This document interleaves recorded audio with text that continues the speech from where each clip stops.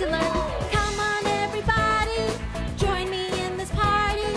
One, two, it's your turn for lots of fun.